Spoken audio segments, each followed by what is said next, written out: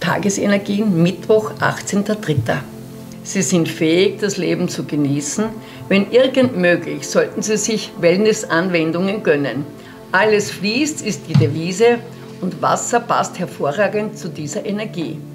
Wenn es zu viel Arbeit und wenig Freizeit gibt, können Sie aber auch nur mit ein wenig Duschen, äh, Hände abspülen im unteren Bereich, äh, einfach fließen lassen, es entspannt. Am besten ohne Seife oder Zusätze, denn das Klare im Wasser entspannt sich sehr gut. Also ohne irgendwelche Zusätze, dann ist die Energetisierung am besten. Hand- und Fußpflege sowie Massagen tun besonders gut. Unabhängigkeitsgefühle machen sich stark bemerkbar. Emotionen gehen tief. Schauen Sie sich an, welche Hürden Sie schon geschafft haben und erlauben Sie es sich, auf sich selbst stolz zu sein.